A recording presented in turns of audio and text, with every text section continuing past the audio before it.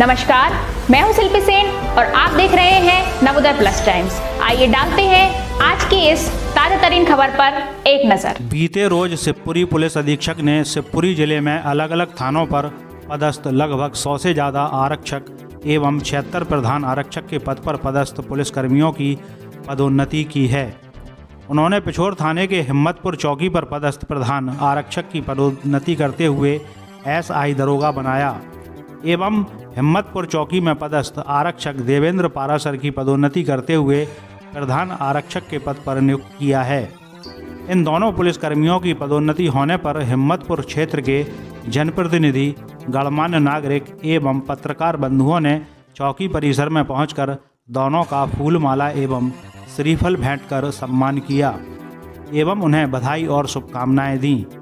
इस मौके पर चरण सिंह एवं देवेंद्र पारासर ने कहा कि हमने अपने कार्यकाल में हमेशा सच और गलत को देखते हुए नौकरी की है।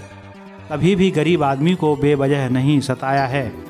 आज हमारी पदोन्नति हुई है। हम मानते हैं कि उसी ईमानदारी का फल हमको मिला है।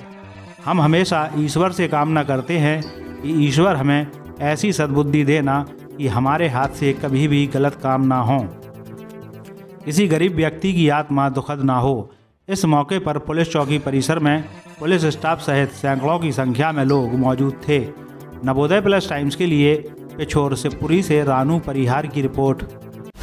हमसे जुड़े रहने के लिए हमारे चैनल को सब्सक्राइब कीजिए और लेटेस्ट न्यूज़ की वीडियो को देखने के लिए बेल आइकन पर क्लिक कीजिए।